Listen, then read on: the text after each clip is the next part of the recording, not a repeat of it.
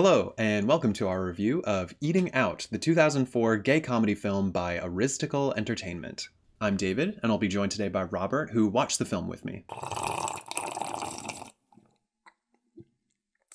So before we get started, this is a farce. They use the F word very liberally, and they also make a lot of casual jokes about sexual assault. So there's your content warning. We'll have an uncensored version on the Patreon, but if that stuff's gonna bother you, please don't watch.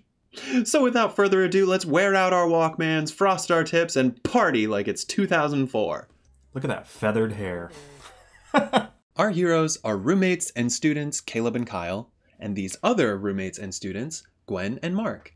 Kyle likes Mark. I've been stalking him for years. You decide to be gay for one night. Mark likes Caleb. Oh, oh, sorry. I'm, I'm totally drunk. Caleb likes Gwen. Did you want me to make you a drink? Gwen also likes Caleb, It's, it's pretty weird. but only because Caleb is pretending to be gay with Mark. Sure. So the cold open scene before the opening credits involves Caleb with his girlfriend, the one with the fetish. You like that, huh? Please, Hold still. please. Stop. This isn't funny. But this is a funny scene because there's a fart. Oh. So the girl says he's not bad enough for him and dumps him. I need a little shake and bake in my life. I need to feel dirty. because she's got a Jetta, whatever that means. Leave, I got a Jetta. Caleb, feeling down, vents to his roommate Kyle, who then tells him that girls are super attracted to gay guys. Straight girls love gay boys. I could get any girl I wanted. Shut the fuck. Serial killer. Which is the central lie that is the only thing that makes this movie work. If you believe this lie, the movie's great. Then they say a whole bunch of misogynistic stuff about cheerleaders. Why is it that every woman they've gone for is in the cheer squad? Cheerleaders are desirable and popular because they are empty.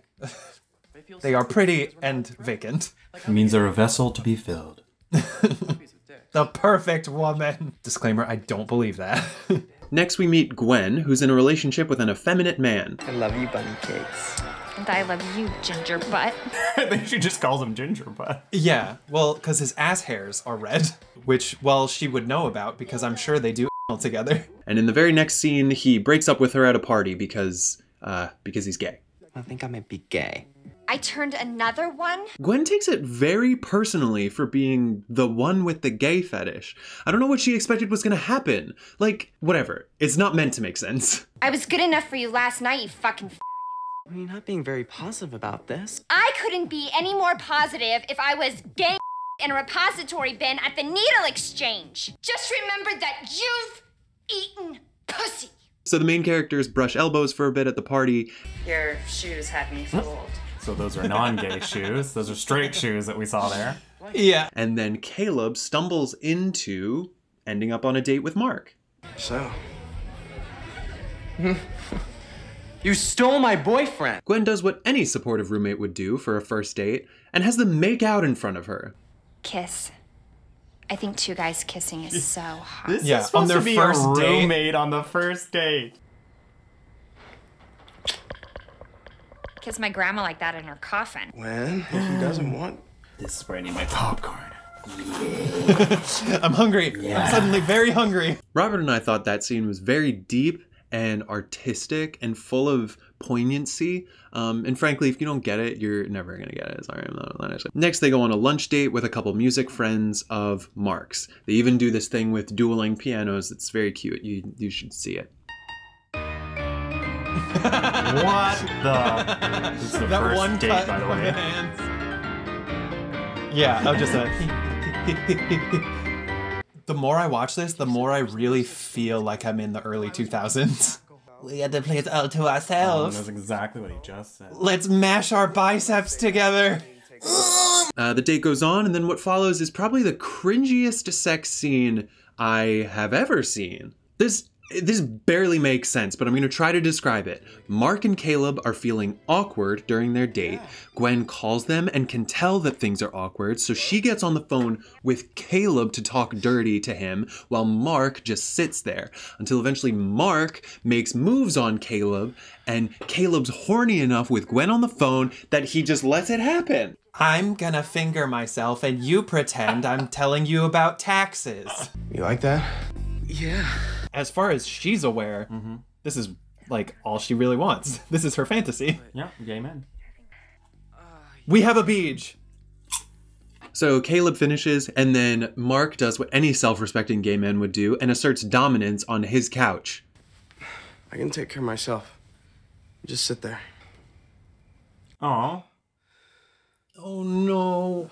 Oh no. Have you ever jerked off next to somebody who's just sitting around? It's not fun. It's not pleasurable. It's really bad. This is so These sounds.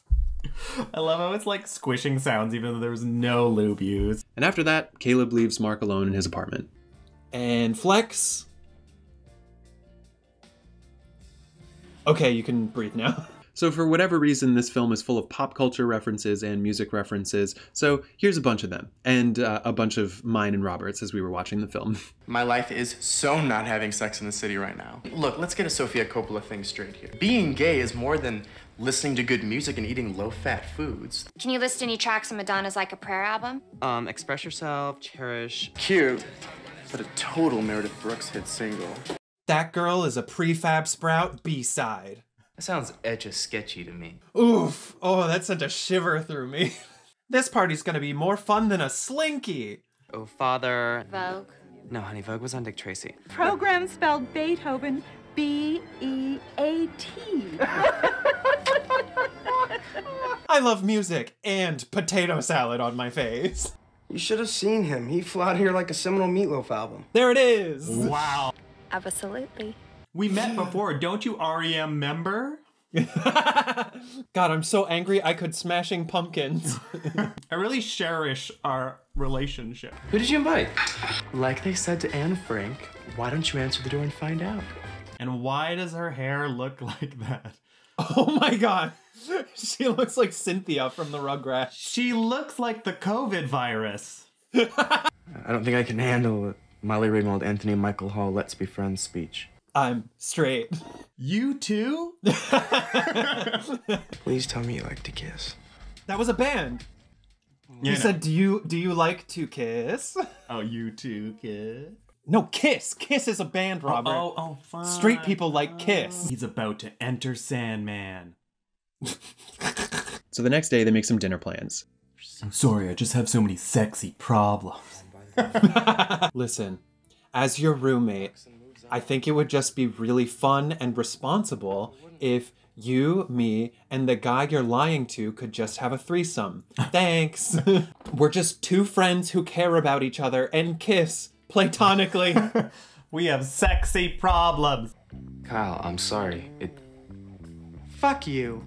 yeah, the only reasonable character in the movie. Right? Finally, some logical motivation. We go to a dinner scene where everyone will take turns being cringy and comically confused. Big, fat sausages. Just wanted to have dinner, no interior motive. Ulterior. I knew that. We also meet Caleb's family, a purple family, which Robert and I found hilarious. That's why they came over. They're like, we see you've been wearing green. Yeah. We're bringing you back home. You've changed. How could you have done this to us? We're a purple family. We all look like Barneys, and you will too. Was it something we said? Was it how we raised you? Did we tell you we love you too many times? So, how did you meet each other? Was it across a crowded room? That's how me and your father met. It was on opposite ends of Tiananmen Square. He was wearing purple. I was, was wearing wearing purple. I do give this movie some credit for having other characters acknowledge how cringy and mean both the younger sister and Gwen are being in these scenes. Kyle's like a second son to us. Or daughter. You're a reality show without a camera crew. Mr. and Mrs. Peterson, your son is gay. Hear it. Love you, gay bro. And Gwen doesn't stop after the family leaves. She basically just attacks Kyle's appearance for two minutes after they're gone because Kyle isn't in Mark's league. You are not in Mark's league. I mean, you're not a total K9, but you are a K5. Gwen, come off it. So by the very, very end, it's revealed that Caleb was faking his gayness to get to Gwen, which Gwen finds very flattering. It also turns out that Kyle was, no, sorry, Mark was actually attracted to Kyle but was playing coy. Hmm? Hey, someday I'll look back on all this and think it was really hot. what a line. So it turns out classical and jazz can get along. That was the end of it. Oh. What a crowd pleaser. So, Robert, what'd you think?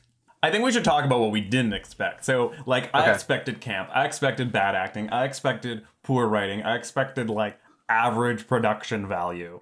Um, what I did not expect was, like, the overt need to pornify it from all the, like, direction. It was great. He could have just said that was that was great, but he's like, it's great. It's so good. Oh, here comes the porn music. Ugh, I'm exhausted. Time to sleep in my pants. I didn't expect to really like one of the actors. Which one? The gay guy. wow. David, that was 90% of the cast. I think you're The- referring the classical, to the, the classical main- music guy. Oh, you liked him. Why? Yeah, I mean, I just think he's cute. Ah, they all have such nice arms. Records on the walls. Oh, I didn't even see them. I That looking is- at arms. And I like the straight guy. I like green shirt guy. Usually, like LA style, just like muscle boy, pretty boy, like is not typically my type. Okay. If they look like a Ken doll, right? If they're so attractive, Exactly. it's annoying. I, I can't stand that. And so the Exactly. straight guy to me was like he's toned, but he's not overly jacked. He's like he's like handsome, like you know, classically handsome, but he's not like a Matt Bomer. That's too much for me. So then I was just like, Mm-hmm. Yeah. he's just good looking. I do know why I do it. It's, it sounds stupid. But I'm a stupid person. Don't you know? That's almost sexy person problem number one. Yeah. Being stupid. So yeah, so this is a very, a very, very white movie. it was Oh yeah. only white people, I think. I, Um, which I wasn't other- thinking about. Other than the one mother, I think she was a mother, the Asian Hmm. woman who had zero lines and just emoted the entire Yeah. time, I think there was an entirely white cast. yeah. Did he eat something? I just did. Oh, okay. I was like, wait, when did he start chewing? How'd you how'd you feel about the um the casual like ish stuff that was going on? This girl upstairs has all these guys over and makes them pretend to. I'd never watched a movie where it was treated as a joke, I guess. Yeah, see, that's the thing is, I think entering into a film like this, you're going to think it's going to be really camp and silly and funny. She did express that she's like, "You're not bad enough for me." I waited 24 days to have sex with you. Well, I didn't want to seem like a slut. Tiffany, So it was just like, it was almost like this. It's just like I didn't consent one way or another, but like I went with it because I'm into bad boys. So I was just like, "Where's, where's the education in this?" You know? I love criminals. Criminals are hot. Yeah. Yeah. I just didn't, and and, and Yeah. mind you, that is also Psychotic. and it is a more modern film topic concern and also i think of something a higher budget not to say that they should be excused being a lower budget production to not like set standards But when like those two female characters, like one of them is crazy and has a fetish and the other is kind of crazy and has like and has a gay fetish. Yeah. like and a turning uh, of gays fetish I don't know. That's like a little. That's a little misogynistic, I guess. Yeah, because that's what we need more of in in film. We need more fetishizing. Mm. It's just like, yeah. Did they make the film that they wanted to see in the world? Probably. how about the like unexpected poor lighting Oh my god. there's so Ev- many uh, like every single scene. so many harsh shadows where i was just like Yeah. Yeah, yeah, like that dinner scene where it's like all like everybody's just like just like from, from right above them. and they still look incredible.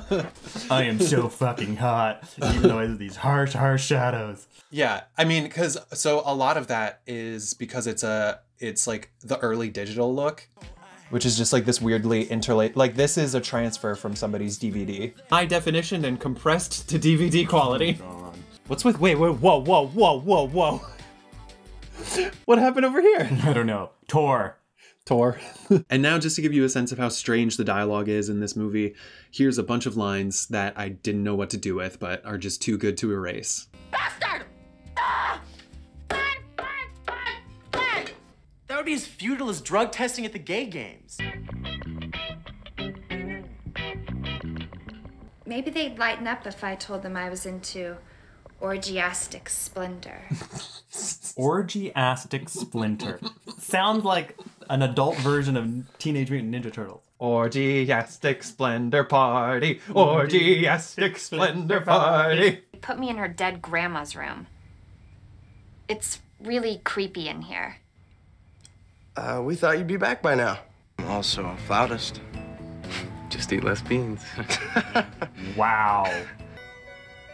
Give me a hug. Love you, gay bro. Sorry, you weird gay man. Not everybody likes eating sausage for dinner. Love it. You're so weird. So at the start, I said this was a review, but how does one really review eating out? It straddles the line between so bad it's good and so bad it's bad. So if this looked interesting, I would just recommend that you watch it yourself. Go ahead and rent the movie on Ariztical Entertainment, their website, um, and support queer content as always. Thank you so much for watching. I'm now going to bleach my eyes after looking at all that interlaced video of man meat.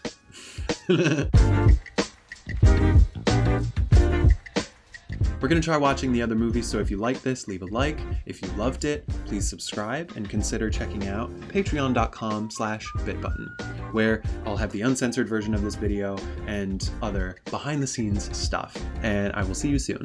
Bye-bye.